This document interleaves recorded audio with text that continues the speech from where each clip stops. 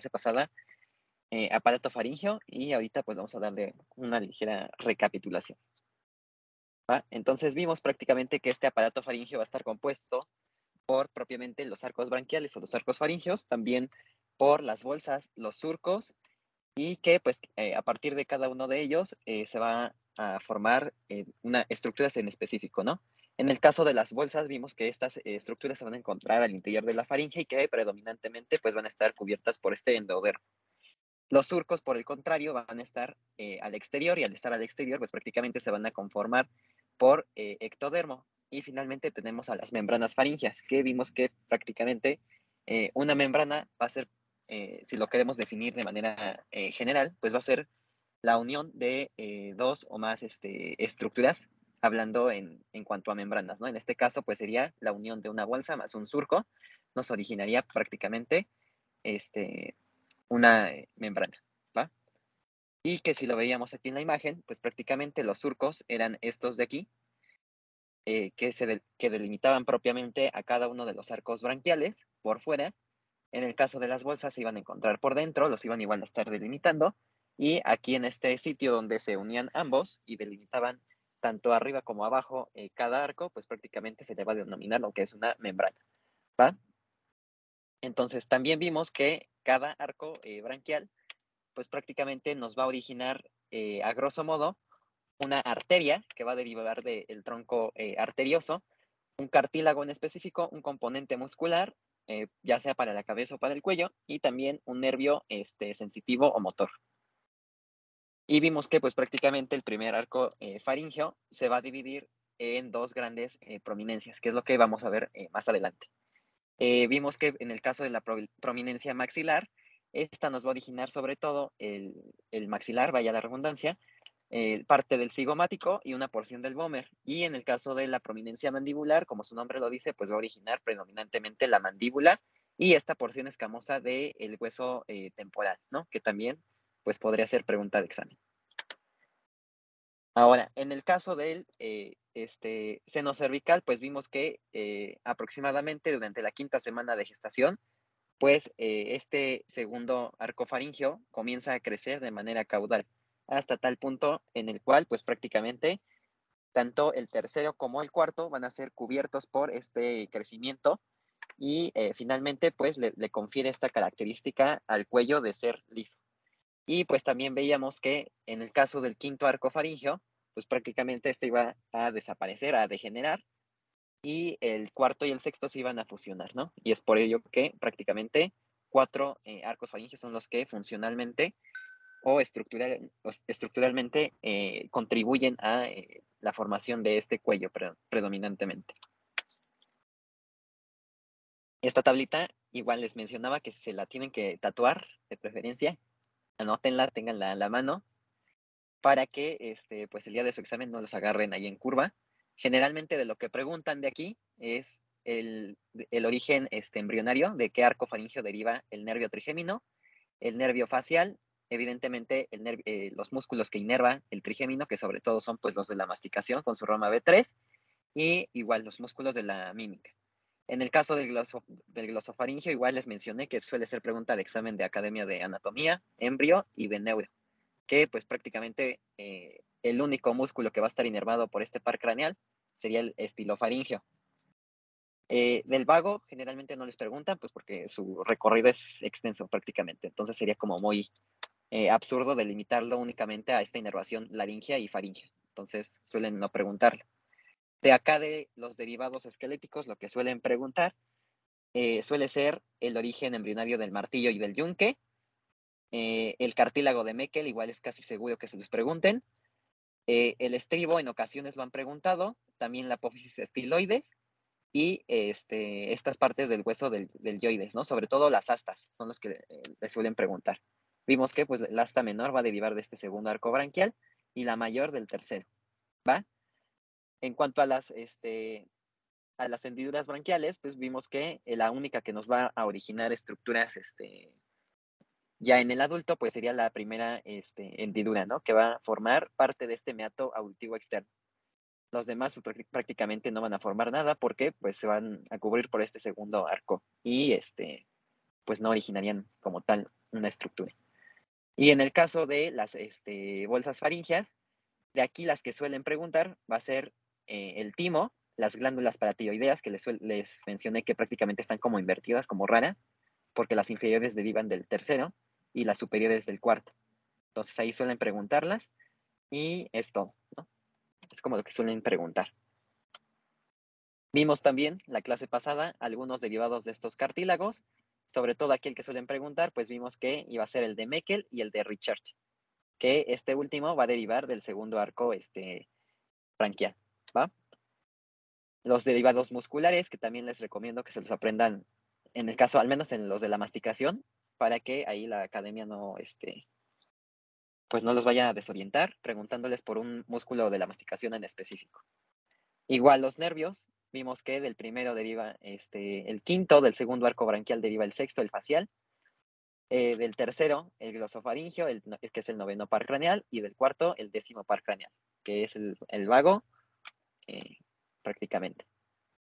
Les ponía igual aquí este resumen de las bolsas faringias. De aquí lo que les suelen preguntar, pues como les mencionaba, eran las, las glándulas este, paratiroides. Y este, pues a grosso modo son esas son las como más preguntables. También vimos patologías, que era prácticamente el seno eh, cervical, que era cuando eh, pues este comenzaba a tener una apertura, sobre todo en esta porción anterior del músculo esternocleidomastoideo. Vimos también que el quiste cervical eh, se da cuando prácticamente las secreciones que comienzan a, a, producirse a partir de esta niñez tardía, sobre todo de la adolescencia, pues no son capaces de ser drenadas hacia el exterior, ¿no? Que sobre todo pues son secreciones de este, estas este, glándulas que se formaron a partir de ectodermo, que se, que se quedó como atrapado, por así decirlo, aquí adentro, ¿va? Entonces, pues prácticamente esta sería una tumefacción indolora y que va a aumentar progresivamente eh, derivado de, este, de esta acumulación de las secreciones. También vimos del síndrome de D. George, de aquí lo que le suelen preguntar o la manera en la que se los plantean es este, pues por la, ausencia de este timo, ¿no? Porque vimos que prácticamente en el timo van a madurar estas este, células T que van a eh, conferir inmunidad a los productos y que pues al no estar este timo no pueden madurar y por lo tanto pues su sistema inmune va a estar depletado, ¿no? No van a ser este, lo suficientemente eh, resistentes como para poder eh, combatir una, pues una, una enfermedad, una infección de manera adecuada. Y esta, pues, su, etiología se debe a eh, defectos en la diferenciación de la tercera y la cuarta bolsa faringea. Sobre todo en la tercera, porque pues a partir de ella se forma este eh, timo, que pues prácticamente es una glándula. También vimos la clase pasada el síndrome de primer arco faringeo, que este lo podemos dividir en dos, en, un síndrome de Treacher-Collins y en una secuencia de Pierre-Robbins. Y esta se debe pues prácticamente a la deficiencia de eh, migración de estas células de la cresta neural, porque acuérdense que estas células van a estar igual de metiches, tienen que migrar hasta los arcos faringios para que puedan, eh, en este caso, pues favorecer la formación de las estructuras, sobre todo estas este, estructuras nerviosas de los pares craneales que eh, ya vimos que se forman a partir de ellos, ¿no? Y en el caso del síndrome de Treacher-Collins, veíamos que aquí suelen tener pues estas fisuras palpebrales inclinadas hacia abajo, esta hipoplasia malar, en la cual pues, prácticamente los cigomáticos van a estar más pequeños de lo normal. Si se dan cuenta aquí, no tiene como volumen la cara, está como, como aplanada.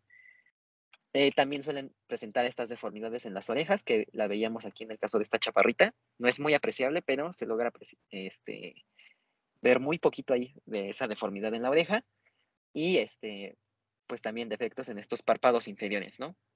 prácticamente aquí pareciese que no puede eh, cerrar los párpados y lubricar el ojo. Y la secuencia, como les mencionaba, pues prácticamente eh, va a ser una especie como de efecto dominó, eh, en el cual pues en un inicio vamos a tener esta micrognatia, es decir, no hay un crecimiento adecuado de la mandíbula, esto lo que nos puede ocasionar es un desplazamiento posterior de la lengua y si se desplaza hacia atrás la lengua, pues corremos el riesgo de que se obstruyan todos estos procesos palatinos, ¿no? Que ustedes están viendo en anatomía. Entonces se obstruyen y ahí se puede ocasionar esta fisura palatina bilateral. Igual, lo que comparte con este el síndrome de Treacher-Collins, pues es esta hipoplasia mandibular, ¿no? En la cual, pues la mandíbula va a estar más pequeña de lo normal. También eh, puede presentarse este paladar hendido, eh, defectos en los ojos y en los oídos, y su etiología, pues suele ser de autosómico dominante. Y aquí, pues les ponía la imagen igual, en la cual, pues si se dan cuenta, la mandíbula está muy pequeña, suele presentarse también una implantación baja de las orejas debido a esta micrognatia, y este, pues ese es como, a grosso modo, este, el fenotipo. ¿Va? Y la última clase, pues nos quedamos en este desarrollo de tiroides. ¿va? Entonces es lo que nos corresponde ver. En el caso de la tiroides, eh, se dice que va a ser el primer órgano endocrino en formarse en lo que es el, eh, el producto. Si ustedes recuerdan, este, la placenta tenía todas estas funciones de interacción hormonal en la cual podía secretar este, sobre todo hormona con adotropina coriónica humana, también teníamos este, lactotropina, somatotropina, y había una sobre todo que era este, la tirotropina eh, estimulante. Entonces, esta prácticamente la tirotropina va a estar muy de la mano con lo que es la tiroides de la madre, pero también eh, pues con el desarrollo de esta primera eh, glándula u órgano endocrino, ¿va? Para ello, lo que necesitamos es que eh, tanto Notch como Sonic eh, favorezcan esta interacción, sobre todo en lo que es en el piso de esta faringe primitiva.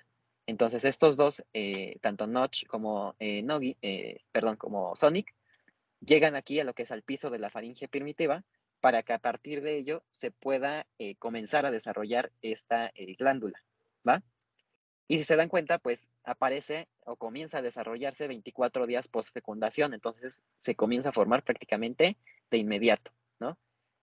En lo que sería este, aproximadamente pues finales de la tercera semana, tercera, cuarta.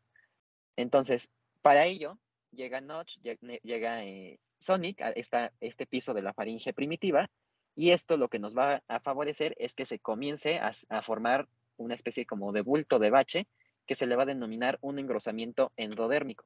Acuérdense que en las bolsas era este recubrimiento que se encontraba por dentro de la faringe. Entonces, si nosotros recordamos, por dentro de la faringe también se iba a encontrar este endodermo que va a comenzar a aumentar de eh, volumen, va a engrosarse a partir pues de esta interacción, ¿no? Y una vez que se forma este engrosamiento endodérmico, podemos decir que va a aparecer este primordio de la tiroides. ¿A partir de qué? Pues de estas interacciones de eh, Notch y de Sonic. Entonces, si lo vemos en la imagen de aquí, por aquí tenemos el estomodeo, que era este, que era lo que veíamos que era este, prácticamente eh, la boca primitiva. ¿va? Por aquí tendríamos lo que es este, parte de la eh, futura, bueno, aquí la localización inicial de la membrana oreofaringia y por acá, pues ya estaríamos hablando de estos eh, arcos faringeos en lo que sería, pues, eh, su porción interna, ¿no? En estas eh, bolsas. Entonces, el, piso de la faringe primitiva se va a encontrar en esta porción de aquí, que es lo, que les estoy señalando. Ahí se comienza a engrosar, se, se, da este engrosamiento endodérmico para que más adelante, ahorita vamos a ver, la, la tiroides comience a descender a partir de este conducto tirogloso, ¿va? Entonces, primero tenemos que, eh, se tiene que formar una especie como de bulto de bache en este piso de la faringe primitiva para que más adelante se eh, migre y pues adquiera esta eh, posición anatómica, sobre todo delante de lo que sería el cuello. ¿Va? Entonces, tenemos que esta tiroides va a formarse a partir de, sobre todo, la cuarta bolsa, bolsa faringea sobre todo pues de este cuerpo último branquial, que era uno de estos derivados de esta bolsa, ¿no? Entonces, aquí la cuarta bolsa faringea nos proporciona el cuerpo último branquial y este a su vez nos va a formar dos esbozos que se tienen que fusionar en la línea media, ¿va? Entonces, una vez que ocurre todo eso, eh, vamos a tener dos esbozos en las cuales van van a existir estas células parafoliculares.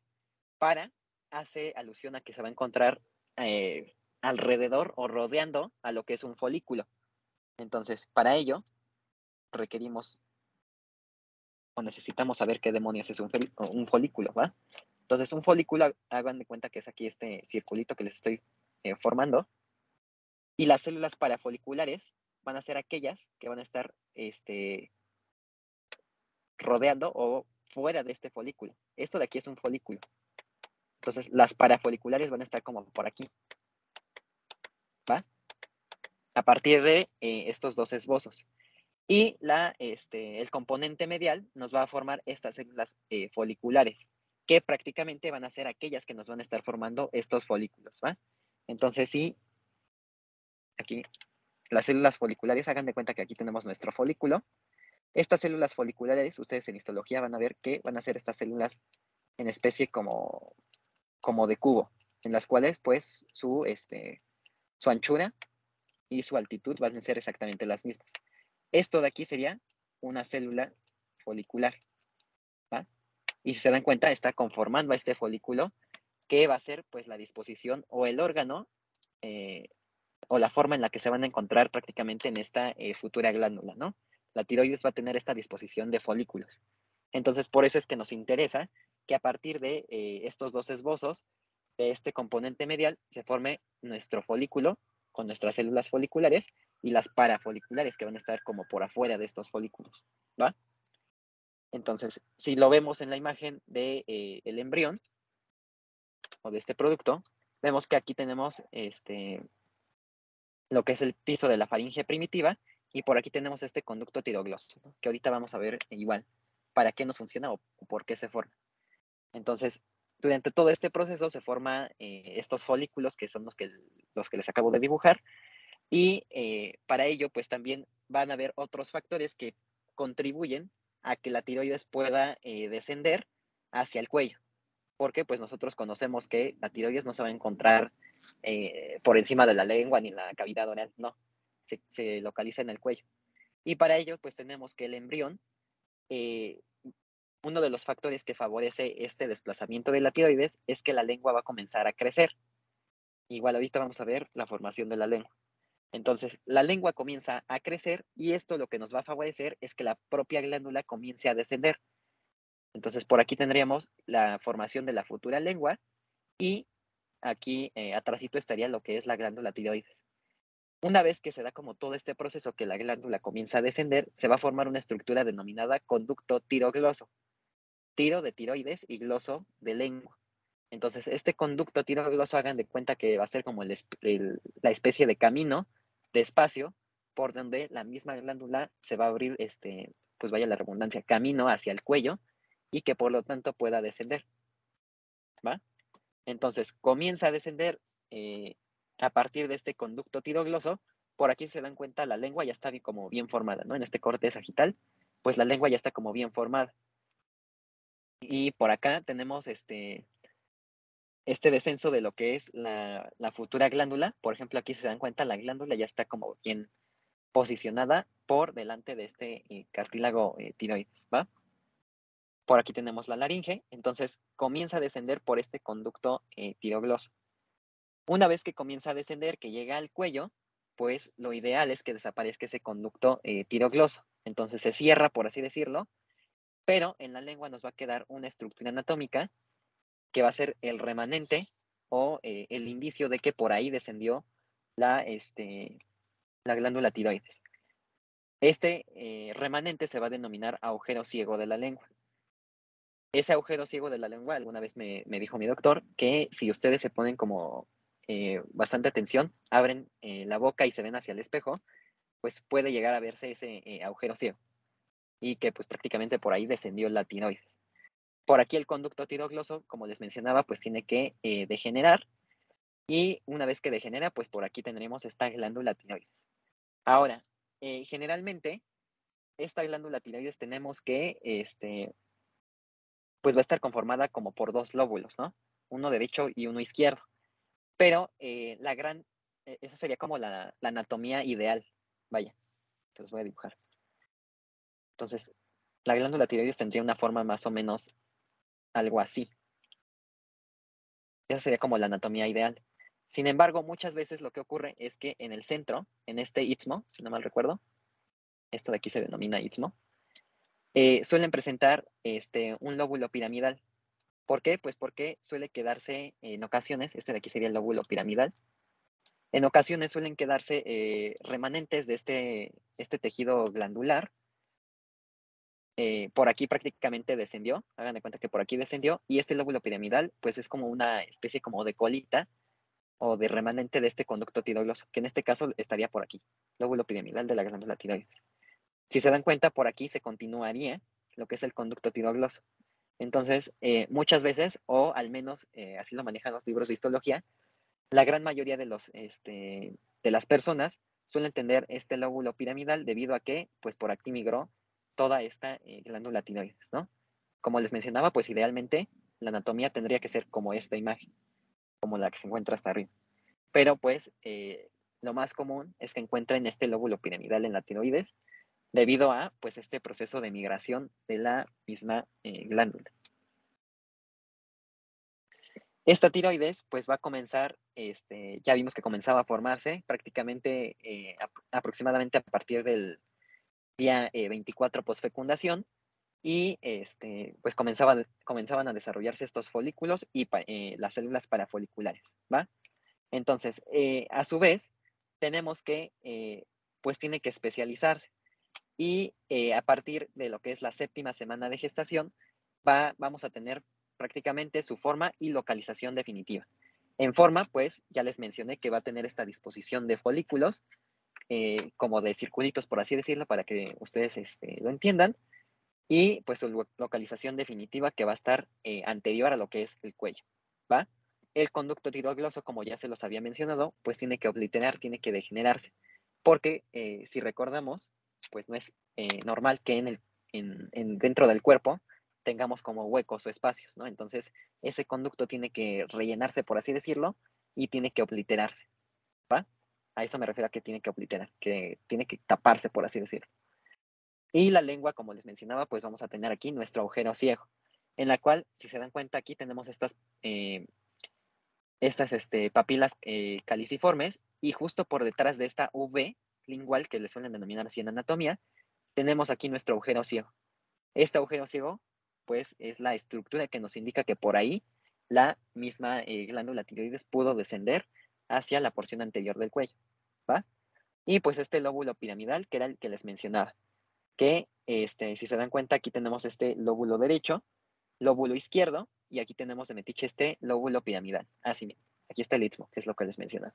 Entonces el istmo nos une el lóbulo derecho con el lóbulo izquierdo, y justo por encima de este istmo tendríamos este lóbulo piramidal que pues no es más que porción de este tejido glandular que este, pues no se incorporó ni al lóbulo derecho ni al izquierdo. ¿Por qué? Pues porque prácticamente por aquí estaba o se continuaba este eh, conducto tiroidoso. ¿Va? Ahora, en cuanto a la histogénesis de la tiroides, tenemos que principalmente se forma este abultamiento endodérmico en, en el piso de la faringe primitiva. Pero a su vez, este, pues tiene que ocurrir este proceso de histogénesis, en la cual pues las células tienen que comenzar a diferenciarse para que sean eh, funcionales y sean, eh, en el caso de los adultos, pues capaces de secretar y tener esta función endocrina de secreción de, hormonas, ¿va? Entonces también durante este proceso de histogénesis tenemos que se va a formar una masa eh, sólida de estas células endodérmicas. ¿Para qué? Pues para que se forme ese bulto, ese bache este, en el piso de la faringe primitiva.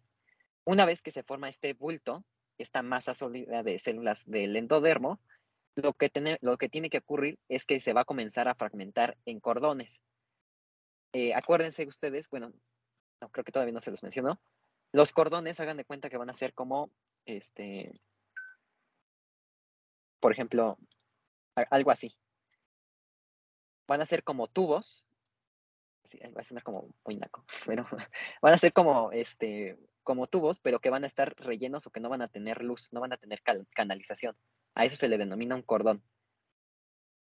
Esos cordones, por ejemplo, en los testículos, más adelante vamos a ver que eh, canalizan y forman los, futuros conductos este, seminíferos, que es parte de lo que vimos en primer parcial. En este caso, pues ocurre algo similar. Se forman estos cordones en los cuales pues no van a estar canalizados como tal, van a estar este, tapados obliterados y eh, una vez que se forman estos cordones a partir de esta fragmentación, tiene que llegar de metiche aquí mesénquima. ¿Por qué? Pues porque acuérdense que la mayoría de estas estructuras va a estar formada por mesénquima. Va a ser lo que generalmente proporciona, este, sobre todo músculos, este, a todas estas porciones del cuerpo. Entonces aquí el mesénquima llega para que pueda igual contribuir a la formación de esta este, histogénesis de la tiroides. ¿no? Entonces llega el, el, el mesénquima de metiche, penetra y aproximadamente en la décima semana de gestación va a haber presencia de estos grupos celulares pequeños que les mencionaba. ¿Para qué? Pues para que más adelante se formen estos folículos y células parafoliculares.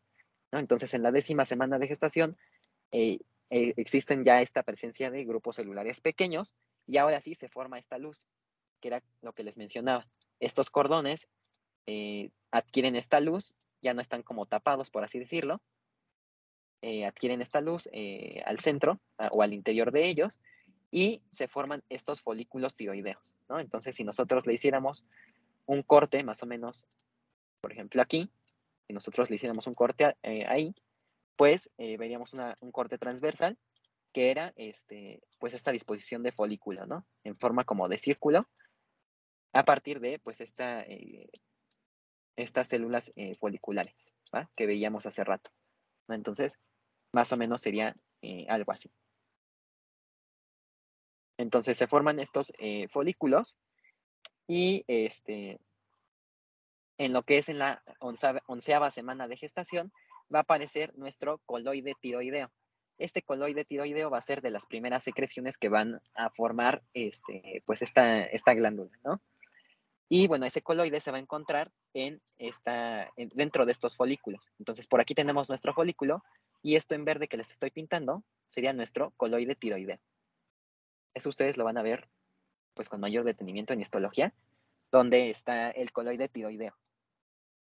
Una vez que comienza a secretarse este, pues esta, este coloide, a partir de la semana 20 de gestación va a comenzar a aumentar esta TSH. Entonces, esa TSH, eh, pues prácticamente va a ser una hormona que se va a denominar hormona eh, tiroestimulante. Se los voy a escribir. Entonces se comienza a secretar hormona tiroestimulante. Ay, creo que.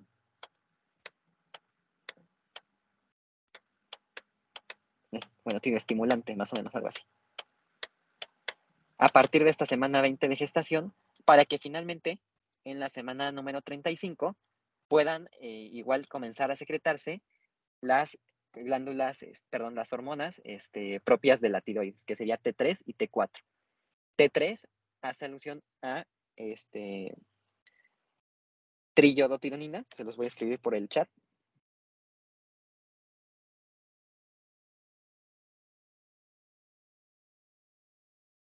T3 es triyodotironina.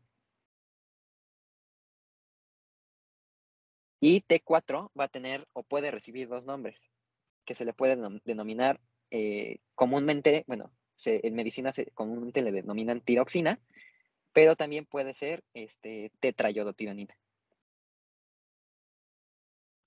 Entonces se comienzan a secretar eh, a partir de esta eh, semana 35 de gestación eh, estas este, dos hormonas y finalmente pues se da todo este proceso hormonal y de secreciones, ¿va? TSH, tiroestimulante. Entonces, a partir de esta semana, pues prácticamente tendríamos estos niveles adecuados y ahora sí, pues la glándula podría comenzar a funcionar. Ahora, eh, a grosso modo, pues la tiroides va a tener funciones importantes sobre todo en el metabolismo. Vimos que sobre todo la eh, hormona, este, la hormona que secretaba la, la placenta, la tiroestimulante, pues esta alteraba, alteraba sobre todo este, pues el metabolismo de los carbohidratos. ¿Para qué? Pues para que el mismo eh, producto tuviera la suficiente glucosa y que por lo tanto este, pudiera darse todo este proceso de formación de nuevas células, de división celular. Entonces aquí pues prácticamente sería eh, o tendría una función bastante similar. Necesitamos T3 y T4 para que se pueda llevar a cabo todo este metabolismo, que las células puedan obtener la glucosa a partir de, este, de la ingesta de los alimentos de la madre pero a su vez que también pues este metabolismo esté eh, bastante acelerado, por así decirlo. ¿Para qué? Pues para que las células puedan dividirse con bastante eh, rapidez y que por lo tanto pues los tejidos se puedan formar de manera adecuada y este, formen pues más adelante ese conjunto de tejidos, los, órganos. ¿va? Ahora, dentro de unas, eh, bueno, dentro de las patologías que marca la tiroides, vamos a encontrar esta tiroides ectópica. Es decir, se va a encontrar en sitios donde no debería de estar. ¿Por qué? Pues porque ya vimos que prácticamente la tiroides tiene que descender desde la lengua hasta esta porción anterior a lo que es eh, parte del cartílago tiroides, ¿no? Entonces, durante todo ese proceso de migración puede darse eh, la situación en la cual eh, algunas porciones o tejidos glandulares se queden en todo este conducto tirogloso. Entonces, esta tiroides ectópica, dependiendo del sitio en el, que lo encontremos, va a tener diferentes este, nombres. En este caso podemos encontrar la tiroides lingual y que como su nombre lo dice, se va a encontrar en esta lengua. ¿Por qué? Pues porque prácticamente no migró. Tendríamos ese tejido glandular y pues ahí este, tendríamos que intervenir para que este, pues ese tejido no cause molestias al, al este, paciente. ¿va? También podemos tener tejido, por ejemplo, aquí tenemos tejido tiroideo accesorio. Es decir, que algunas porciones pequeñas se quedaron en todo este recorrido del conducto tiroidioso. Eh, eh, se, desarrollaron de manera adecuada y pues permanecen. También podemos encontrar igual la tiroides cervical, en la cual se va a encontrar eh, en una porción un poco más superior a la que debería de estar, igual debido a que pues este, no migró, no descendió de manera adecuada, y aquí el tejido glandular pues fue suficientemente eh, resistente, por así decirlo, como para eh, adaptarse a este, pues estas condiciones, ¿no? Porque, por ejemplo, aquí en la lengua o en esta porción anterior de, este, de lo que es el cuello, pues no debería de encontrarse, ¿no? Y este, pues al no ser su lugar anatómico ideal, este, el cuerpo en ocasiones pues eh, no favorece que, que, crezca o que se desarrolle. Sin embargo, pues si logra pasar como esos procesos, esos filtros, puede darse, pueden darse estas situaciones de tiroides lingual, tiroides cervical, y pues quedaría ese, ahí ese tejido eh, glandular, ¿va? Y pues aquí tendríamos igual este lóbulo piramidal, en la cual, eh, a pesar de que no es como, este, pues muy anormal, eh, pues no tendría que estar ahí ese lóbulo, ¿no? Ahora, también puede darse la situación en la cual se forman estos quistes. Acuérdense que los quistes van a ser como estos sacos, o veanlo como globos, acuérdense de un quiste, de un globo, en la cual va a comenzar a llenarse de este líquido. ¿Qué líquido? Pues sobre todo eh, este eh, coloide tiroideo, que eran las primeras secreciones que comenzaba a producir la tiroides, ¿no? Entonces, eh, a partir de esta acumulación de coloide tiroideo, pueden darse pues estos quistes del conducto tirogloso. Igual, eh, durante todo su descenso de la tiroides, pues puede darse la situación en la cual este, no, no este, oblitera completamente este conducto tirogloso y eh, puede quedar una porción de eh, tejido glandular capaz de formar pues este coloide tiroideo, ¿no? Entonces por aquí tenemos el agujero ciego de la lengua y por aquí en esta imagen estamos viendo un quiste del conducto tirogloso. ¿Por qué? Pues porque prácticamente el conducto tirogloso no obliteró y adecuadamente no cerró y aquí la eh, porción glandular comenzó a secretar este eh, coloide tiroideo que comienza a acumularse. Igual va a ser muy similar a lo que es el quiste cervical. Hagan de cuenta que va a ser como de manera progresiva, va a comenzar a acumularse este coloide tiroideo, estas eh, secreciones, de manera progresiva, paulatina, hasta tal punto en el que pues este quiste aumenta de tamaño, aumenta de volumen y va a ser evidente en, lo que es el paciente. Aquí lo que les suelen preguntar sus doctores igual en clase es cómo podemos diferenciar un quiste eh, del conducto tirogloso con un quiste este, del seno eh, cervical. Y pues prácticamente eh, se, va, se va, o va, a ir de la mano con la situación en la que lo encontremos. Vimos que el quiste cervical se va a encontrar sobre todo en esta porción anterior de lo que es el músculo esternocleidomastoideo, que pasaría más o menos por aquí. En el caso del conducto, eh, bueno, del quiste del conducto tirogloso, este se va a encontrar en la porción, eh, sobre todo, eh, anterior, ¿no? No va a estar en todo este trayecto del, pues de lo que es este, el músculo esternocleidomastoideo. Y este, pues este quiste del conducto tirogloso, sobre todo, va a estar más en relación con lo que es la mandíbula. Si se dan cuenta, está como muy proximal aquí. En cambio, por acá el quiste cervical se encontraría de manera un poco más lateral y como les mencionaba, pues en todo este recorrido de lo que es el músculo esternocleidomastoideo. Hasta aquí, eh, ¿alguna duda con la tiroides o todo bien?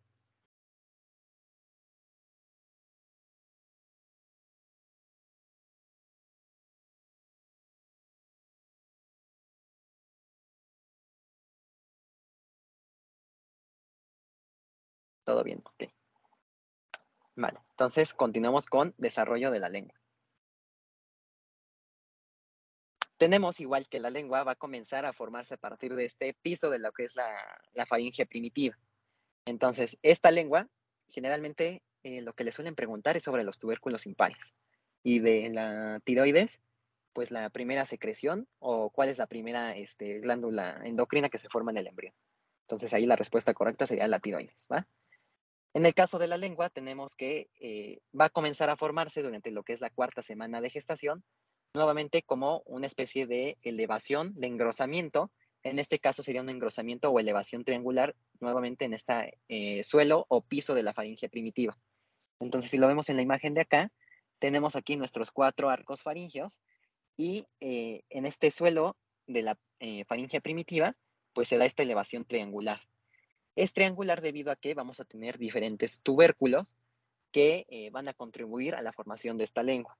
En primera instancia vamos a tener un tubérculo impar, que como su nombre lo dice, pues va a ser impar, únicamente se forma uno, o eh, también puede eh, recibir el nombre de yema lingual, ¿va? Y este, que en este caso, por aquí no, creo que no se logra ver. Bueno, a partir de ello, vamos eh, a, tener otros dos tubérculos que se van a denominar tubérculos laterales, ¿va?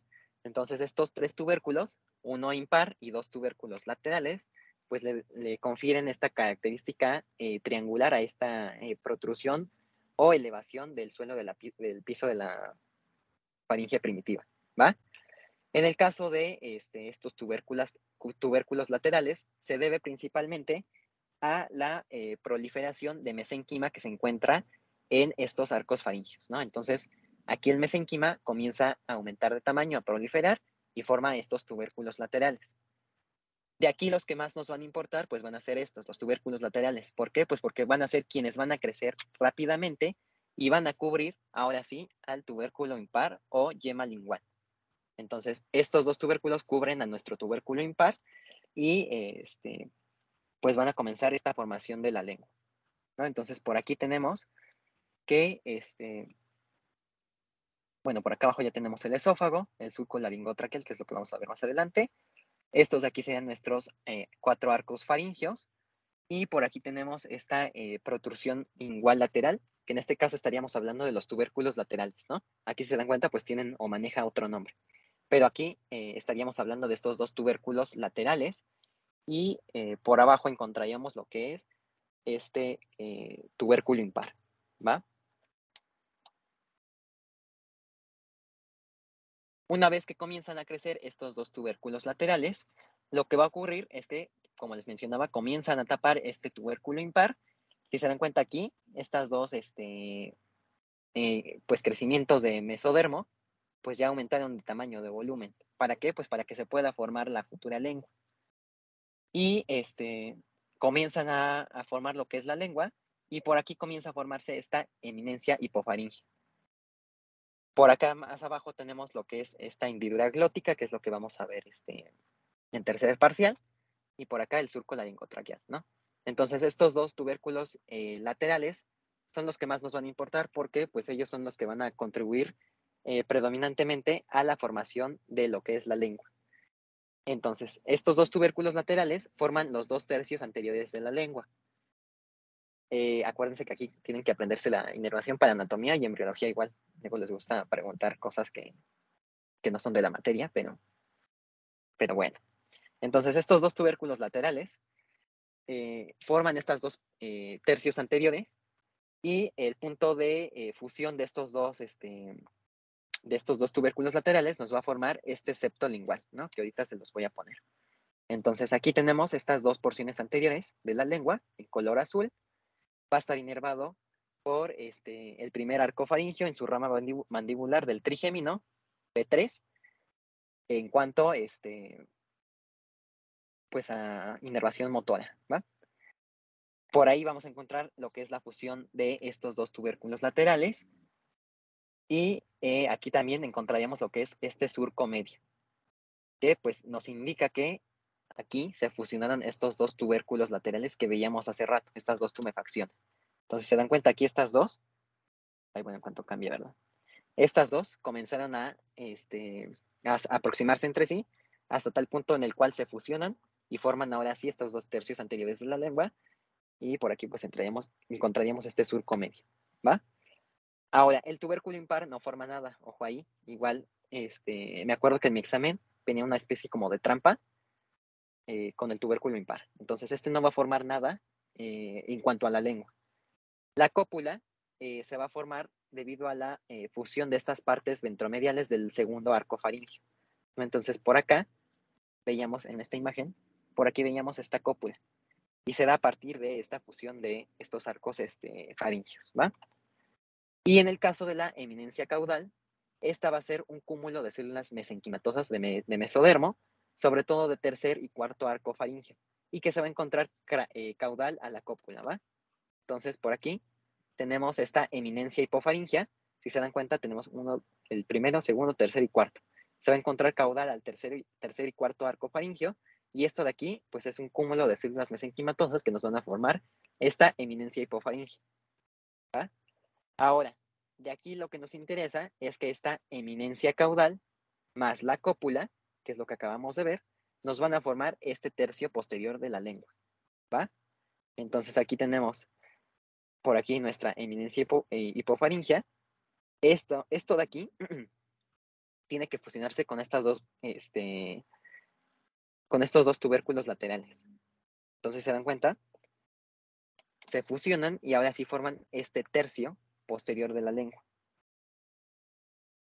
¿Va?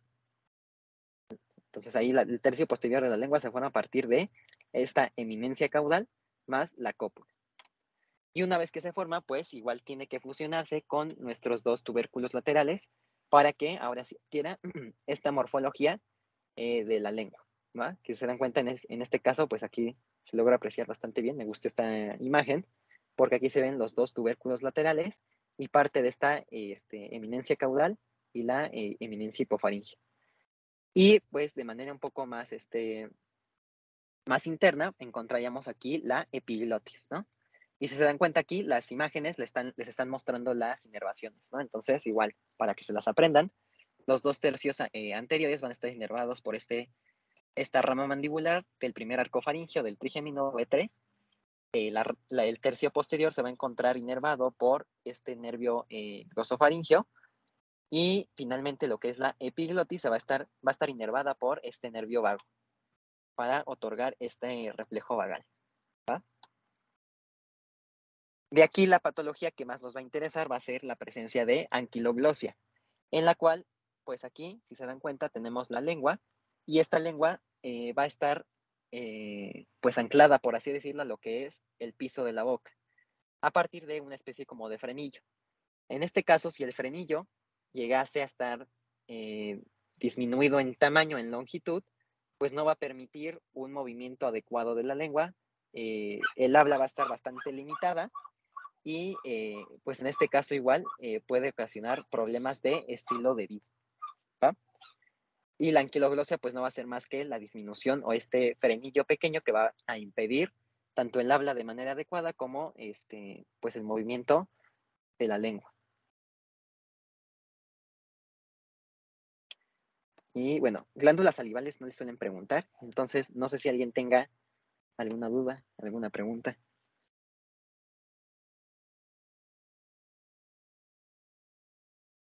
¿Todo bien?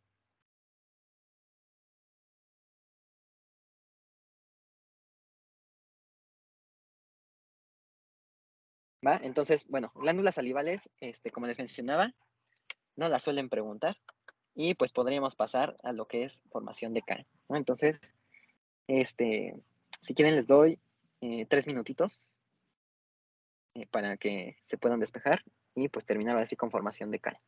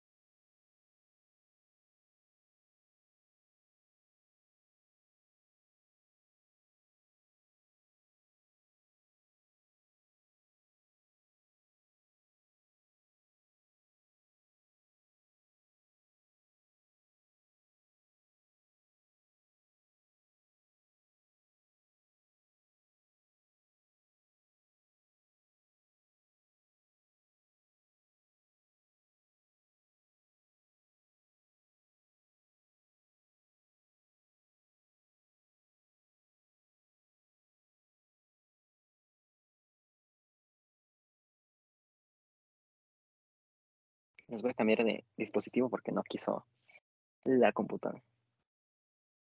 Creo que ya.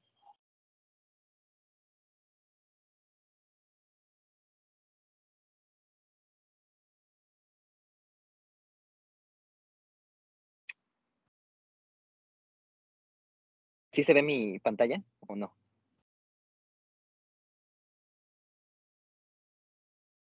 Sí, sí, sí, se ve. Se ve. Gracias. Bueno, entonces tenemos que, eh, pues ya el último tema de segundo parcial es formación de cara, es igual bastante sencillo. Y eh, bueno, en este caso, pues prácticamente la formación de la cara va a depender de cinco prominencias, ¿no? Eh, o procesos, este, se les puede denominar así. Estos cinco procesos o prominencias van a ser un proceso frontonasal, un este, proceso maxilar, y este, pues un proceso eh, mandibular, ¿no? Que en este caso pues tenemos aquí la imagen. Ahora, estos este, procesos pues van a comenzar a formarse eh, sobre todo a partir del 24, eh, del, día número 24 posfecundación y si se dan cuenta pues van a ser igual de las estructuras que van a comenzar a formarse de manera casi inmediata, ¿no? Entonces, en el día número 24 eh, van a comenzar a formarse eh, estos procesos y a partir de estas eh, condensaciones, pues se va a formar lo que es la cara. Ahora, entre lo que es estos este, cinco estructuras, tenemos que se va a encontrar el estomodeo o lo que es esta boca primitiva que les mencionaba hace rato, ¿no? Entonces, aparece esta boca primitiva y este, en lo que es el estomodeo igual va a estar esta membrana orofaringe. ¿Para qué? Pues para que más adelante eh, apoptose la misma membrana y eh, por lo tanto pues también pueda tener canalización a lo que es eh, la futura cavidad oral y eh, por lo tanto pues pueda en una vez que nazca pues ingerir alimentos, ¿va? Entonces, si lo vemos en, un, en una este, vista lateral, tenemos aquí el proceso frontonasal en color verde, en color amarillo tenemos el proceso maxilar y en color este, azul el proceso mandibular, ¿no? Entonces, estos este, procesos lo que tiene que ocurrir es que tienen que fusionarse. ¿Para qué? Pues para que puedan formar la cara. Ahora, si se dan cuenta aquí, en el día 28, es decir, cuatro días después de que se formaron estos este, procesos, van a comenzar a aparecer lo que son las placodas, sobre todo las nasales. Estas placodas eh, van a ser eh, los indicios o las primeras estructuras eh, de manera sensorial en formarse. Acuérdense que en el caso del de, olfato, pues va a ser uno de estos este, sentidos especiales, ¿no? Entonces, eh, las placodas van a tener o van a formarse igual a partir de estos eh, procesos, pero igual las células de la cresta neural tienen que influir y favorecer la formación de pues estas estructuras. Entonces las placodas se comienzan a formar en este proceso frontonasal eh, a partir de lo que es el día número 24 y también vamos a tener que pues se tienen que formar estas placodas cristalinianas. Estas placodas cristalinianas nos van a formar sobre todo los futuros eh, ojos, ¿no? Entonces, eh, si se dan cuenta, pues en la imagen, estas eh, dos placodas van a estar a lo que es a los lados de lo que es el, el, embrión. Y que como les mencionaba en las primeras clases, pues las placodas tienen que migrar de manera medial para que eh, los ojos pues adquieran este, pues la forma en la que nosotros lo conocemos, ¿no? Su posición y que no tengamos los ojos a los lados como por ejemplo los caballos o las eh, palomas, ¿va?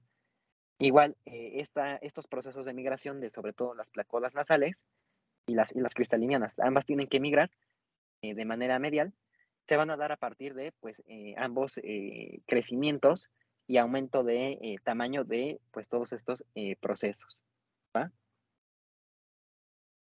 Entonces, si se dan cuenta aquí, ambas eh, placodas, aquí sobre todo las placodas nasales, ya están más prominentes, ya tienen mayor eh, profundidad. Y si se dan cuenta igual, se están comenzando a desplazar hacia, eh, hacia el centro de manera medial. Por aquí se logran apreciar ligeramente los ojos. En la imagen pasada no se, veían, no se veía absolutamente nada. En esta imagen sí se logra apreciar muy poco porque pues prácticamente están comenzando a migrar de manera medial, de manera anterior, para que eh, pues los ojos se posicionen en la porción anterior de la cara y que igual las fosas nasales eh, pues se comiencen este, aproximar entre sí para formar igual una sola nariz. Eh, durante todo este proceso, pues se dan cuenta aquí, la fosa nasal ya está comenzando a formarse, ya está comenzando a adquirir mayor profundidad. Y durante todo este proceso también se va a formar un surco nasolagrimal. Este surco nasolagrimal, ustedes ya vieron en anatomía que pues va a permitir eh, hasta cierto punto una, este, una comunicación entre lo que es la porción o el piso inferior de la eh, cavidad orbitaria con lo que es este, la eh, fosa nasal, ¿no? Entonces, igual comienza a aparecer este surco nasolagrimal a partir de una especie como de canalización de hendidura entre este proceso, frontona, proceso frontonasal y el proceso maxilar, ¿va? Igual, siguen migrando, en, este caso estamos hablando del día 31, siguen migrando por aquí, eh, si lo vemos en el día, eh, perdón, en, una vista lateral, vemos igual la, eh, el ojo, la fosa nasal que está comenzando a desplazarse de manera medial y nuestros tres, este, nuestras prominencias, la frontonasal, la maxilar y la mandibular. Entonces, para el día número 33, si se dan cuenta, aquí el ojo igual se, este, se logra apreciar todavía un poco más porque pues se está desplazando de manera medial. Ahora, las prominencias nasales van a dividirse en dos porciones, en una prominencia eh, nasal media y en una prominencia nasal lateral. Cada una de ellas va a tener estas dos porciones. Por lo tanto, vamos a tener pues dos prominencias nasales medias y dos prominencias, prominencias nasales laterales, ¿no? Y que si lo vemos este, pues en la imagen, eh, la media sería como la porción que va a estar este, o que se va a fusionar para formar el, futuro tabique y las dos laterales para formarle eh, esta porción lateral a lo que es la nariz. ¿va? Entonces, se comienzan a diferenciar estas dos prominencias nasales en una porción media y en una porción lateral para que pues sigan aproximando entre sí y se fusionen. Ahora, si lo vemos de manera lateral, aquí tenemos igual el surco nasolacrimal que va a estar entre este, esta porción inferior de la cavidad orbitaria. Aquí el ojo igual tiene que seguir migrando de manera anterior, de manera medial, y de igual forma, pues las prominencias tienen que seguirse desplazando para que pues la nariz se encuentre en el centro de la cara. Igual por aquí, si se dan cuenta, tenemos aquí eh, la, formación del primer, este, eh, bueno, del conducto auditivo externo, que este, como veíamos hace rato, pues va a derivar de la primera hendidura faríngea. Entonces comienzan a darse todos estos procesos de, crecimiento, de desplazamiento, sobre todo de estas placodas eh, nasales y eh, de los ojos. Y por aquí, se dan cuenta, las dos prominencias nasales medias, la izquierda y la derecha, pues ya están muy proximales entre sí. Los ojos igual ya están un poco más eh, anteriores, parece como una alien ahí, el producto, la verdad. Y el proceso frontonasal, si se dan cuenta, pues ya le está confiriendo esta característica de la frente a lo que es este, pues sí, la cara. Aquí, por ejemplo, igual logramos apreciar que tanto la, este, la prominencia mandibular como la prominencia maxilar igual se están fusionando para otorgarle esta morfología a lo que es el futuro bicenocráneo. Y que si lo vemos en una eh, imagen lateral, pues aquí se dan cuenta, la placoda de los ojos ya está igual más desplazada de manera anterior y medial, y las placodas este, eh, igual de los ojos, pues también. Estas dos placodas, las, de las nasales y la de los ojos, pues tienen que seguirse desplazando. Aquí ya vamos en el día número 40 y como les mencionaba, pues prácticamente las nasales prácticamente este, ya están muy proximales entre sí para que pues comiencen a funcionarse. Por aquí el ojo, si se dan cuenta, aún sigue estando eh, muy lateral, por lo que pues la misma cara tiene que seguir creciendo, tiene que seguirse favoreciendo este desplazamiento para que pues el producto no presente algunas anomalías como hipertelorismo o hipotelorismo. Que ahorita les voy a explicar más o menos qué es. En el caso del día número 48, si se dan cuenta, las dos prominencias nasales mediales, estas de aquí que estamos viendo, ya se están fusionando. Y las laterales obviamente no se pueden fusionar porque pues van a ser las que les van a dar eh, esta característica a la nariz, estas alas de la nariz. Entonces esas no se pueden fusionar. Y eh, una vez que se comienzan eh, a fusionar, va a comenzar a formarse lo que es la nariz. Y si se dan cuenta también, los ojos ya están bastante anteriores. Entonces, los ojos igual tienen que ascender ligeramente hacia arriba. Ahí en la imagen estamos viendo que, pues prácticamente están como a la misma altura de, la nariz. Sin embargo, pues eh, a medida que estos eh, procesos comienzan a aumentar de tamaño, pues favorecen igual que comiencen a ascender de manera normal y que adquieran pues su sitio anatómico ideal, ¿va? Y si lo vemos aquí en una imagen eh, lateral, por aquí logramos apreciar que eh, igual el ojo ya está comenzando a ascender un poco y a este a este pues ascender, ¿va? Y a ser más medial. Aquí tenemos ya un producto de 10 semanas, en la cual, si se dan cuenta, las dos prominencias nasales mediales ya se fusionaron. ¿Para qué? Pues para que más adelante se forme el tabique y cada una de estas fosas, pues, este, tenga su compartimento en específico. Las laterales, como les mencionaba, pues no, no tienen que fusionarse porque les van, le van a dar eh, esta característica de las alas de la nariz. Igual, eh, en el caso del el maxilar, si se dan cuenta, están está comenzando a fusionarse entre sí. En la imagen anterior veíamos que la prominencia maxilar aún estaba eh, dividida como en dos, este, en dos procesos. Sin embargo, aquí, este maxilar tiene que fusionarse para que forme un solo hueso macizo. Porque pues nosotros sabemos que no tenemos dos maxilares, tenemos uno. Este proceso se da a partir de este, pues esta fusión de las dos prominencias maxilares, ¿no? Si lo vemos en una imagen un poco más lateral, pues logramos apreciar que el ojo y los párpados ya se formaron eh, adecuadamente, los ojos ya están eh, prácticamente en su sitio normal, y si nos vamos en la imagen de abajo, este sería un producto de 14 semanas, en el cual pues su cara prácticamente ya está casi eh, por terminada. La prominencia frontonasal, si se dan cuenta, formó principalmente lo que es la frente de, eh, de, la, cara de este producto. Las eh, dos prominencias nasales mediales se fusionaron adecuadamente, las laterales formaron las alas de la nariz, las dos este, prominencias maxilares también ya se fusionaron y durante este proceso va a quedar una especie como de remanente en este sitio simétrico de la fusión de los dos procesos maxilares. Este va a ser el filtrum labial. Ese se forma a partir pues, de esta fusión de los dos procesos maxilares. ¿va? Y por abajo tendríamos ya lo que es el proceso mandibular, que si se dan cuenta, pues formó predominantemente la mandíbula, ¿no? bueno, me faltó aquí la imagen lateral. Si se dan cuenta, pues ya adquirió esta morfología eh, normal de la, de la cara. Ahora, les mencionaba hace rato algo que se denomina hipertelorismo e hipotelorismo. En el caso del hipertelorismo, es cuando las dos placodas eh, que van a formar los futuros ojos quedan muy separadas. Y bueno, no sé si ven TikTok, no sé si conozcan a Charlotte Lascurain, supongo que algunos sí, quiero pensar.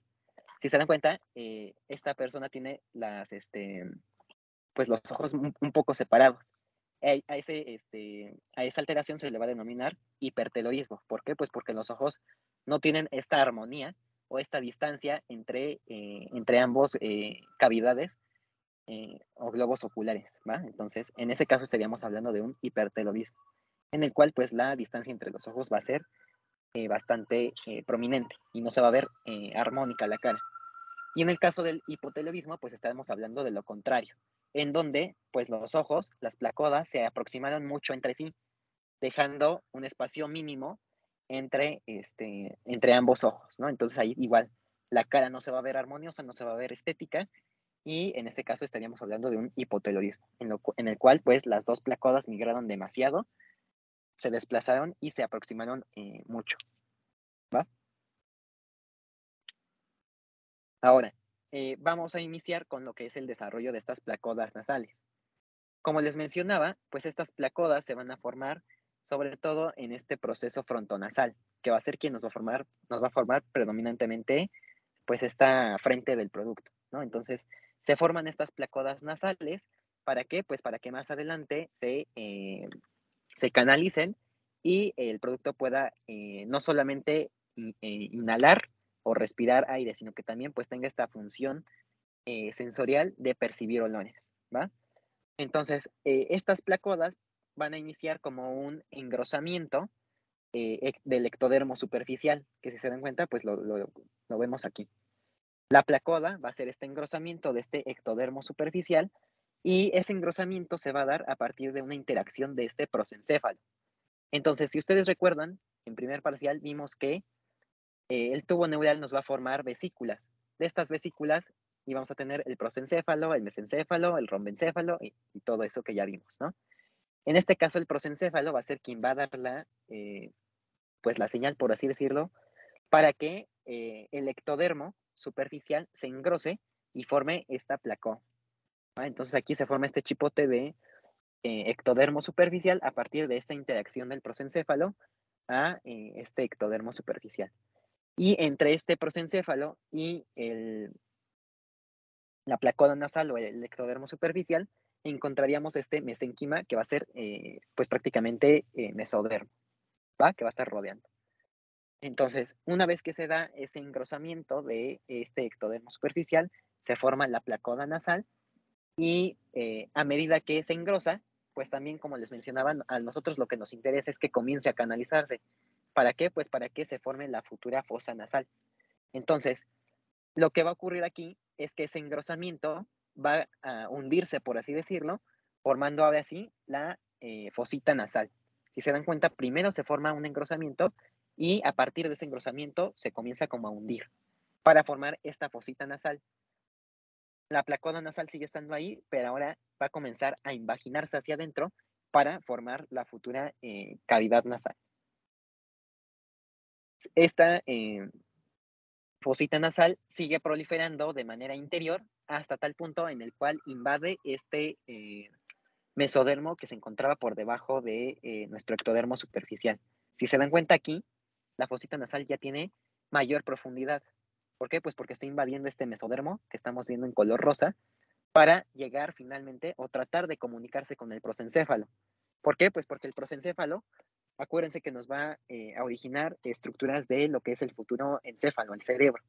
Y como les mencionaba, pues no solamente la nariz nos sirve para inspirar aire, sino que también nos sirve para percibir olores. Es por ello que pues esta fosita nasal tiene que acercarse con el prosencéfalo para adquirir pues esta función sensorial.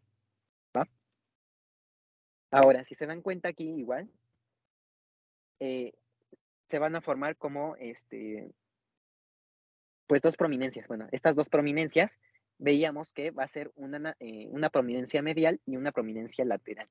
Acuérdense que esto es de cada una de las, este, de cada una de las fosas eh, nasales, ¿no? En este caso estamos viendo únicamente la formación de una fosa nasal. Del lado eh, izquierdo derecho, pues prácticamente está ocurriendo exactamente lo mismo. ¿va? Entonces, se diferencian estas dos prominencias en una prominencia nasal y en una prominencia nasal medial y en una prominencia nasal lateral. En este caso, pues la lateral la estamos viendo del lado derecho y la nasal eh, medial estaría del lado izquierdo, ¿va? Entonces se forman estas dos prominencias para que más adelante, eh, pues como ya vimos, las prominencias nasales mediales se comiencen a aproximar entre sí y este, se fusionen y por lo tanto, pues eh, se forma una sola nariz, ¿va? Por aquí, si se dan cuenta, a medida que se formaron estas dos prominencias nasales, mediales y laterales, se va a formar esta este, estrechez que se va a denominar narina y que va a ser la entrada a lo que es la futura este, fosa nasal, ¿va? Y bueno, finalmente tenemos ese saco nasal que va a ser el primordio de esta cavidad nasal. ¿Para qué? Pues para que, como les mencionaba, siga invadiendo y pueda tener contacto más adelante con el prosencéfalo para, eh, pues, darle esta característica sensorial a la, a la nariz, ¿va? Miren, aquí esta imagen ya se ve un poco mejor, que es una prominencia nasal medial y que es una prominencia nasal lateral, ¿no? Entonces, eh, pues ya vimos que estas dos este, placodas nasales tienen que migrar de manera medial y anterior hacia la cara y eh, para que finalmente pues estas eh, prominencias nasales mediales se fusionen y formen una sola nariz, ¿no? Entonces, si nosotros le hacemos un corte aquí a nivel de B, ahí donde ven este, ustedes este, punteado, si nosotros le hiciéramos un corte así transversal, veríamos más o menos algo así. En donde por aquí tenemos una placoda nasal izquierda, una placoda nasal derecha y nuestras dos prominencias nasales laterales y nuestras dos prominencias nasales mediales, ¿no? Entonces, como les mencionaba, pues estas dos prominencias nasales mediales se siguen desplazando de manera anterior a la cara hasta tal punto en el cual se fusionan y eh, nos formen únicamente eh, la nariz, ¿va? Entonces, comienzan eh, a, desarrollarse. Por aquí, la fosa nasal, si se dan cuenta, todavía no tiene mucha profundidad como hace rato. Acuérdense que todos estos procesos son simultáneos. Mientras está invadiendo el mesénquima este, subyacente para adquirir mayor profundidad, también se están desplazando. Entonces, estos dos procesos son este, simultáneos, ¿va? Entonces, si se dan cuenta, aquí las dos prominencias nasales mediales se están comenzando a fusionar apenas entre sí. Por aquí el proceso maxilar, este es un corte un poco más abajo. Este es el corte en C que, veíamos aquí. Si se dan cuenta, está más abajo, está más en lo que es este, la futura eh, cavidad oral. ¿va? Entonces se dan cuenta aquí, pues el prosencéfalo no se logra apreciar mucho. ¿Por qué? Pues porque el corte transversal se realizó más abajo y por lo tanto, pues no, eh, no se veía ahí este, esta vesícula del, del, tubo neural. ¿va? Entonces aquí se dan cuenta, serían la fusión de estas dos prominencias nasales mediales entre sí y por aquí se estaría igual formando la futura cavidad oral. Aquí el proceso maxilar igual se está comenzando a aproximar entre sí para formar eh, eh, esta división entre lo que es mm, la, cavidad nasal y la cavidad oral. Y finalmente aquí pues tenemos que las dos prominencias nasales mediales ya se fusionaron. Por aquí nuestro proceso maxilar, igual acuérdense que tiene que fusionarse para formar un solo hueso maxilar y que más adelante igual eh, también contribuya a la división eh, entre la cavidad oral y la cavidad nasal con la formación de este paladar eh, duro. Igual aquí tenemos que se va a comenzar a formar este proceso palatino medio. Acuérdense que estos cortes son más abajo, más en lo que es este, entre la cavidad nasal y la cavidad oral. Por eso es que pues ahí no vemos el prosencéfalo. Entonces aquí se forma este proceso palatino medio y a partir de ello se tiene que comenzar a formar el paladar. ¿Para qué? Pues para que la cavidad oral y la nasal no tengan comunicación entre sí. Si estos procesos de fusión no se, llegasen a, desarrollar de manera adecuada, pues ahí tendríamos eh, problemas como eh, paladar hendido o labio este, hendido, ¿va? Y bueno, eh, como nota cultural, en medicina, o al menos nosotros como médicos, no le podemos denominar labio leporino, porque muchas veces los doctores se molestan porque es una forma eh, discriminatoria de referirnos a los pacientes, ¿no? Entonces, el término correcto que debemos utilizar es labio eh, hendido. Entonces, aquí, si se dan cuenta, las dos prominencias nasales eh, mediales ya se fusionaron y comienzan igual a formar parte de este proceso palatino medio, que si se dan cuenta, pues está entre los dos procesos maxilares. Ahora, lo que nos interesa, pues es dividir estas dos cavidades, ¿Cómo? Pues formando este paladar, ¿no? Entonces se dan cuenta aquí, los dos procesos maxilares ya se fusionan entre sí, ya tienen una sola continuidad entre sí. Lo que nos interesa es que se comience a formar este paladar primario que logramos apreciar en color rosa. Ese paladar primario tiene que comenzar a crecer y a desplazarse de manera posterior, es decir, como si, este, como si comenzara eh, a crecer hacia lo que es este, pues sí, la, faringe que se encuentra hacia atrás. Acá donde tenemos las letras que dice paladar primario, por ahí tendríamos la futura eh, faringe para que pues, eh, pues el alimento no entre a lo que es la cavidad este, nasal, ¿no? Y tenga pues esta división entre la cavidad oral y la cavidad nasal. Entonces este paladar primario tiene que comenzar a proliferar, pero a su vez también estos dos procesos maxilares tienen que seguirse fusionando y este, por aquí, si se dan cuenta, pues ya tenemos el filtrum del labio superior que era pues esta eh, remanente o este indicio de que los dos este, procesos maxilares se eh, fusionaron de manera adecuada. Ahora, ya vimos cómo se comienzan a formar estas placodas y una vez que se forman pues estas placodas comienzan a migrar de manera medial y anterior, pues tenemos que ver también el desarrollo de estas cavidades nasales, que pues es parte de lo que acabamos de ver, ¿no? Si nosotros lo vemos en un corte lateral, eh, pues aquí la imagen es completamente diferente, ¿no? Aquí, si se dan cuenta, tenemos ya este saco nasal. ¿Por qué? Pues porque vimos que esta fosita comenzó a invadir nuestro mesénquima que se encontraba por debajo. Es exactamente lo mismo, nomás que ahora en una vista eh, sagital. ¿Para qué? Pues para que veamos cómo el, el prosencéfalo entra en comunicación con esta eh, fosita nasal y a partir de ello pues se pueden formar los filetes nasales del primer este, par craneal, ¿no? Entonces es exactamente lo mismo, nada más que en una vista lateral. Por aquí estamos viendo este, esta cavidad oral, por ahí estaría el estomodeo, nuestra boca primitiva, para que se continúe más eh, de manera más posterior con lo que es la eh, faringe y se pueda formar pues todas estas estructuras que, que, acabamos de ver, ¿no? La lengua, la tiroides, la faringe primitiva. Eh, por encima de esta cavidad eh, oral, si se dan cuenta, tenemos aquí este paladar primario eh, que les mencionaba hace rato, que era este como triangulito. Entonces, este triangulito que están viendo, a ver, cuando cambie.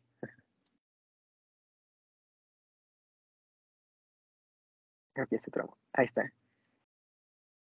Entonces, ese, ese paladar primario, si se dan cuenta, es exactamente lo mismo que esta bolita eh, rosa rodeando, eh, rodeada por este ectodermo, ¿no?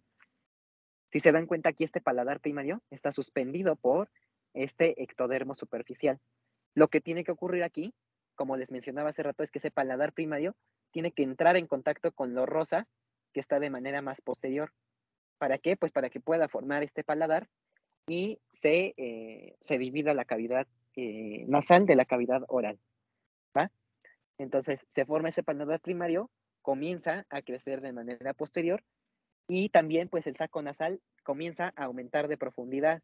¿Para qué? Pues igual para tener comunicación con lo que es la futura este, faringe, la orofaringe específicamente, hablando ya anatómicamente, y eh, que por lo tanto pues también tenga contacto con este, eh, esta vesícula, el prosencéfalo, de manera superior para eh, adquirir eh, pues su función, su funcionalidad este, del olfato, ¿va? Si se dan cuenta aquí, ya tenemos las narinas. ¿Por qué? Pues porque la profundidad de estas fositas nasales sigue aumentando de tamaño. Y si se dan cuenta, igual, el mesodermo entre nuestra vesícula del prosencéfalo y la narina ya es prácticamente muy poco. ¿Por qué? Pues porque tienen que entrar en contacto estas dos estructuras. Ahora, aquí el paladar primario, si se dan cuenta, ya está comenzando a desplazarse de manera posterior. ¿Para qué? Pues para dividir la eh, cavidad oral de la cavidad nasal. ¿Va? Y por aquí igual, si se dan cuenta, pues la lengua ya se formó. Acuérdense que son procesos simultáneos.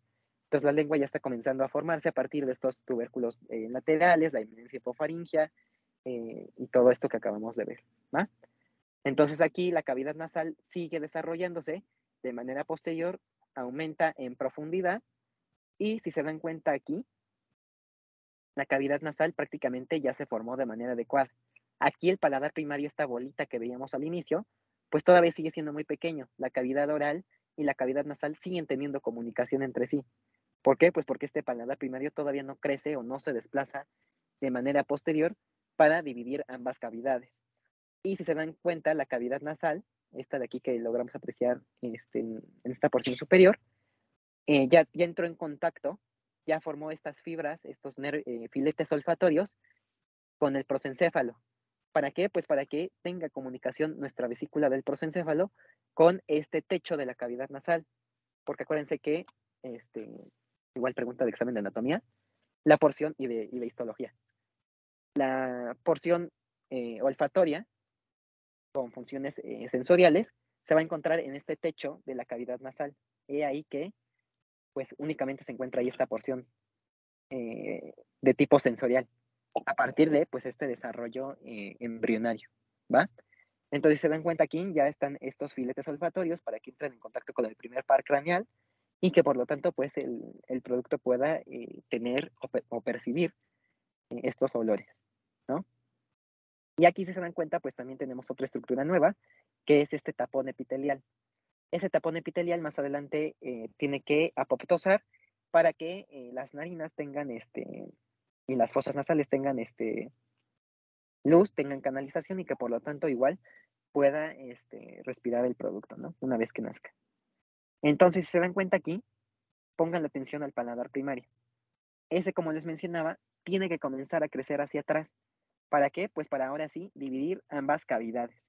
Y si se dan cuenta aquí, las dos cavidades ya están bien separadas entre sí. La cavidad nasal de la cavidad este, oral, ¿no? Y por aquí pues ya estamos viendo este bulbo olfatorio del futuro este, primer par craneal, ¿no? Que va a formarse a partir de este prosencéfalo, esta vesícula cerebral. El tapón epitelial sigue eh, estando ahí en lo que es este, en la entrada hacia la cavidad eh, nasal. Y por acá, si se dan cuenta igual, los labios ya se están comenzando a formar.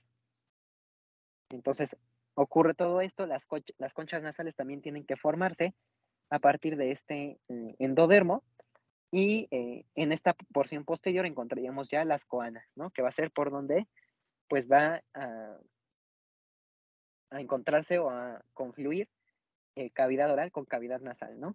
En esta oronfaringe que les mencionaba. ¿Hasta aquí alguna duda, alguna pregunta? ¿O todo bien?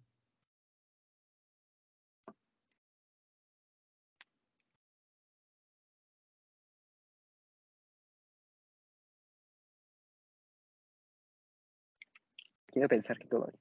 Ok, vale. Ahora, pues ya vimos cómo se desarrollan estas cavidades nasales, cómo se comienza a formar este paladar primario, pero pues vamos ahora sí a enfocarnos a, este, pues a los paladares, ¿no? Cómo eh, demonios se comienza a, este, a dividir tanto la cavidad oral como la cavidad nasal, ¿no? Entonces, eh, el desarrollo del paladar eh, tenemos que va a comenzar a formarse a partir de la sexta semana de gestación, a partir de estos procesos mediales que veíamos. Entonces, eh, los procesos mediales se fusionan y eh, favorecen que se forme este paladar primario, ¿no? que veíamos que, pues aquí, eh, pues va a ser como una especie de, de acumulación de mesénquima, ¿no? Entonces, se fusionan y si nosotros le hacemos un corte aquí donde logramos apreciar esas, este, líneas punteadas, veríamos algo más o menos así, donde este labio superior, si se dan cuenta, está derivando de este, está derivando del ectodermo. Ahora, por aquí tenemos este proceso palatino medio. Ese proceso palatino medio igual tiene que seguir creciendo hacia atrás, hacia la futura este, orofaringe, para que pues, pueda dividir ambas cavidades. También tenemos esta encía en desarrollo y este, bueno, la, lámina labiogingival y este proceso eh, palatino lateral. Tanto los, dos procesos palatinos laterales como el proceso palatino medio tienen que crecer y fusionarse entre sí, los dos laterales y el medio. ¿Para qué? Pues para que se pueda formar el, el paladar. Ahora, si lo vemos en un corte este, o en una vista eh, frontal, vemos por aquí que el nervio olfatorio ya se está formando, igual los ojos están comenzando a formar, y aquí el tabique nasal se está comenzando a formar a partir de una proyección de este mesénquima o de este mesodermo. Igual, por aquí estamos viendo la, la lengua en formación y este proceso maxilar que aún no se fusiona entre sí. Si nosotros nos vamos a esta vista en cuanto al paladar, tenemos que, si se dan cuenta, el proceso palatino medio sigue estando ahí. Quienes crecieron y se eh, aproximaron a este proceso palatino medio fueron estos dos procesos palatinos laterales.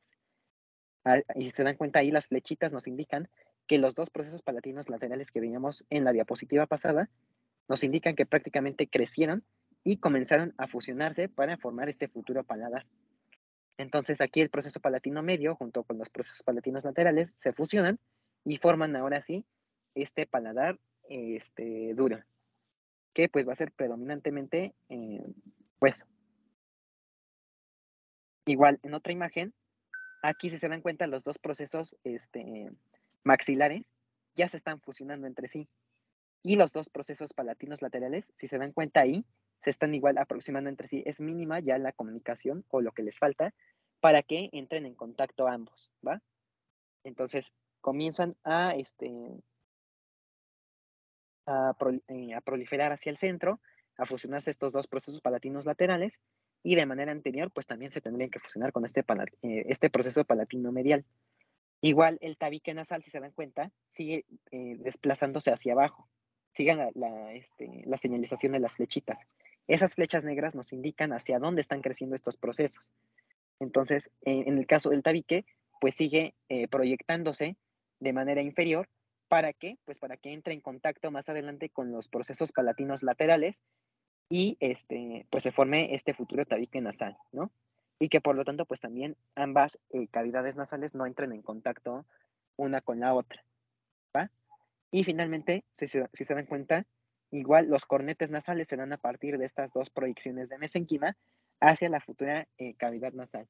¿Para qué? Pues para que los cornetes sean capaces de eh, calentar el aire ya en la vida este, extrauterina. ¿va? Igual, si lo vemos desde otra eh, perspectiva, aquí los dos procesos este, palatinos laterales pues ya se fusionaron.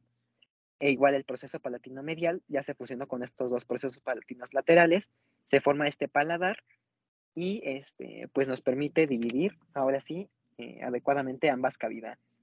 ¿va? Ahora, esta es una imagen aproximadamente entre la séptima y eh, octava semana de gestación estamos hablando ya de eh, una posición horizontal, en la cual, pues aquí los dos procesos palatinos laterales ya se fusionaron de manera exitosa. ¿Para qué? Pues para que este, se, se, dé pues esta división eh, adecuada entre la cavidad oral y la, nasal. Igual el tabique nasal, si se dan cuenta, como les mencionaba, se tenía que proyectar hacia abajo. Aquí prácticamente ya entró en contacto con estos dos procesos palatinos laterales y ahora sí, nuestra cavidad oral de la nasal está dividida, pero no solo eso, también las dos, este, las dos este, cavidades nasales, las narinas, pues ahora sí cada una de ellas va a tener su propio este, camino, su propio recorrido, su propio espacio. ¿va? Igual los cornetes siguen eh, formándose para calentar este futuro aire. La lengua sigue igual aquí este, desarrollándose. Y por aquí, si se dan cuenta, el paladar ya está bien formado. Ahora, si se dan cuenta aquí, eh, en esta porción superior vamos a tener el frenillo del labio. Ese, si se dan cuenta, lo formó el ectodermo.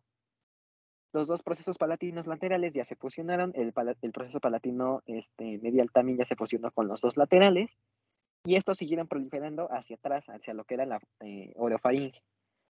Una vez que siguen proyectándose hacia atrás, eh, hagan de cuenta que van a chocar, van a eh, confluir entre sí para formar la úvula, esta campanilla que tenemos nosotros hasta atrás. Igual, en este caso ya estaríamos hablando de eh, parte de lo que sería el paladar blando. Ya no se formaría hueso, sino que formaría este paladar blando y lo, en el centro quedaría este rafe palatino. Ese rafe palatino lo que nos indica es que ahí Igual me parece que este, si ustedes se ven al espejo con, luz, se logra ver este rafé palatino, en el cual pues este, prácticamente ahí los dos procesos palatinos laterales eh, se fusionaron y este, favorecieron pues la eh, división de ambas eh, cavidades, ¿no? Y finalmente pues tenemos lo que son las patologías, ¿no? Que como les mencionaba pues aquí casi no, no les preguntan, pero este, pues es importante que sepan. Dentro de las patologías de, eh, estos, este, de esta formación de cara, las que son más comunes va a ser la de labio hendido y paladar hendido. ¿va? Entonces, eh, aquí tenemos en condiciones este, ideales que las dos prominencias este, o procesos palatinos laterales se fusionaron y queda ahí ese rafe palatino, ¿no? Y aquí queda, en, esta coloración amarillenta, pues tenemos este paladar primario que derivó de estas eh, prominencias nasales mediales, de esta fusión. ¿va? Eso sería en condiciones eh, normales. Si no se llegasen a fusionar adecuadamente eh, los dos procesos palatinos laterales y el proceso palatino medial, pues pueden darse estas patologías que les mencionaba. Por ejemplo, aquí puede darse el caso de una hendidura labial en la cual los dos procesos palatinos laterales, que logramos ver aquí en color rojo, sí se fusionaron de manera adecuada en esta porción posterior, En cuanto a su porción anterior, sí se, si se dan cuenta, sí se fusionó con el proceso palatino medial, este en color amarillo. Pero la porción superficial no se eh, fusionó de manera adecuada. Es decir, este ectodermo no se fusionó eh, exitosamente y si se dan cuenta ahí, se dio una hendidura eh, labial en la cual el labio se va a continuar con lo que sería la entrada a, la, una de, las, este, de los orificios nasales. Si se dan cuenta, el que se encuentra del lado izquierdo, pues está completamente normal, ahí sí se fusionó, pero la del lado derecho no. ¿Por qué? Pues porque ahí el, el ectodermo no, eh, no se fusionó adecuadamente y eh, afortunadamente pues fue de manera eh, superficial, solamente nos ocasionó una hendidura labial. Si esto se, se llegase a profundizar, hablando ya en cuestiones de paladar, pues podemos tener una hendidura labiomaxilar, en la cual no solamente sería eh, problema a nivel estético, sino que pues ya sería eh, o nos traería problemas a nivel funcional, donde, si se dan cuenta aquí, del lado derecho, este proceso palatino lateral no se fusionó adecuadamente de manera anterior con nuestro proceso palatino medial. Entonces, al no fusionarse adecuadamente, el proceso palatino lateral de color rojo con el proceso palatino medial en color amarillo, pues prácticamente ahí las dos cavidades tendrían comunicación y por lo tanto, pues puede darse esta situación de hendidura labiomaxilar, donde también pues el ectodermo no se fusionó adecuadamente con esta prominencia nasal medial y pues ahí habría comunicación entre este orificio nasal con el labio, pero también con el paladar, ¿va? Ahora sí, eh, por ejemplo, los dos procesos palatinos laterales no se fusionan eh, de manera exitosa con este eh, proceso palatino medial en color amarillo, igual nos puede ocasionar esta hendidura labiomaxilar, pero ahora de ambos lados. Si se dan cuenta, aquí tenemos este filtrum que les mencionaba que se formaba a partir de este ectodermo. Igual, si el ectodermo no se fusiona adecuadamente, lo que ocasionaría es que el labio superior eh, no tenga esta continuidad y que por lo tanto pues se presente esta hendidura labial, ¿va?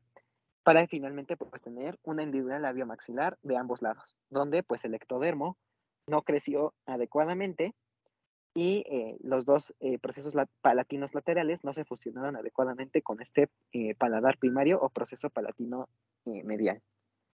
¿va? Ahora, puede darse igual otra situación en la cual si se dan cuenta aquí el ectodermo, ahora sí se fusionó adecuadamente. Estas prominencias nasales mediales se fusionaron igual adecuadamente. Cada orificio nasal tiene su, este, su cavidad. El proceso palatino eh, medial con los procesos palatinos laterales sí se fusionaron de manera anterior, pero en su porción posterior, si se dan cuenta, ambos procesos palatinos eh, eh, laterales no se fusionaron adecuadamente. Es decir, mm, el RAFE eh, no va a estar presente si se dan cuenta. ¿Por qué? Pues porque los dos procesos palatinos este, laterales igual no proliferaron, no crecieron adecuadamente y eso eh, ocasionó que se presentara esta fisura de paladar duro, donde igual eh, pues se puede comunicar la cavidad oral con la cavidad este, nasal y eso nos traía problemas de estilo de vida y funcionales. ¿va? Y finalmente pues tenemos aquí la hendidura labiomaxilar palatina en la cual, si se dan cuenta, eh, pues es como la más grave de todas. ¿Por qué? Pues porque hablando en cuanto al lado derecho, si se dan cuenta, en primera instancia el ectodermo no se fusionó adecuadamente. El labio superior, por lo tanto, no va a tener continuidad de este lado derecho. La, este, el orificio nasal del lado derecho igual va a tener continuidad con esta hendidura labial, pero a su vez, si se dan cuenta también, el proceso palatino medial en color amarillo con el proceso palatino lateral del lado derecho en color rojo, tampoco se fusionó adecuadamente. Y ambos procesos palatinos laterales entre sí tampoco se fusionaron eh, para formar este paladar duro. Entonces, aquí lo que tenemos es que la eh, o el orificio este, nasal va a tener comunicación con el labio, pero también con el paladar eh, en todo su recorrido. ¿Por qué? Pues porque ambos procesos palatinos laterales no se fusionaron y este, pues ocasionó esta comunicación entre la cavidad oral y la cavidad nasal. Y pues eso prácticamente eh, nos puede traer problemas eh, bastante complicados en los productos. ¿Por qué? Pues porque eh, a la hora que la madre eh, trate de alimentar a estos productos, muchas veces la leche se les suele subir a la nariz y eso les va a causar molestia a los niños, ¿no? Entonces, en ocasiones se suele presentar la, situación en la que los niños o los chaparritos pues rechazan el alimento. ¿Por qué? Pues porque prefieren no comer a, este, a sentir esta sensación de que la leche se le sube a la nariz, ¿no? En este caso, pues, eh, la madre tendría que llevarlo eh, al hospital para que se le valore, se le den algunas alternativas eh, y que de igual forma, pues, el producto no vaya a desnutrirse o a entrar en un proceso de deshidratación, ¿no? Que serían como las dos este, problemas más severos que podrían ocasionar estos, este, estas malformaciones de la cara, ¿va?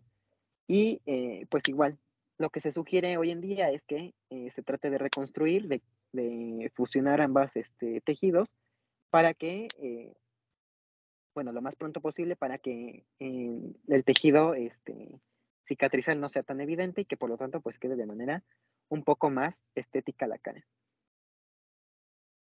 Y pues prácticamente con eso terminaríamos los temas de segundo parcial. No sé si alguien tenga ¿Alguna duda? ¿Alguna pregunta? ¿Quieren que repita algo? No, todo bien.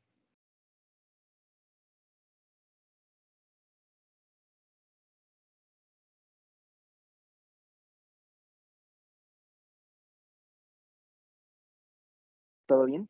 Ok. Bueno, entonces, pues, vale. Pues entonces con eso terminamos, eh, ahora sí, el temario de segundo parcial. Eh, el fin de semana les doy indicaciones este, para los este,